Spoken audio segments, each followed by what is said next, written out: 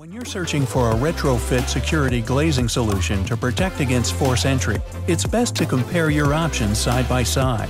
Experiencing the differences in performance is the only way you'll know you're getting exactly what you're looking for. Security window film is applied directly to glass and designed to delay entry through windows and doors. Properly installed, security window film can delay entry into a space for 15 to 45 seconds and is an excellent deterrent for smash and grab crime. DefenseLite is an advanced polycarbonate shield that mounts onto your existing glazing. Engineered to stop entry through windows and doors, DefenseLite will not break or fracture under attack and stop the threat on the outside of your building. No entry, no harm. For more information, please visit our website or give us a call.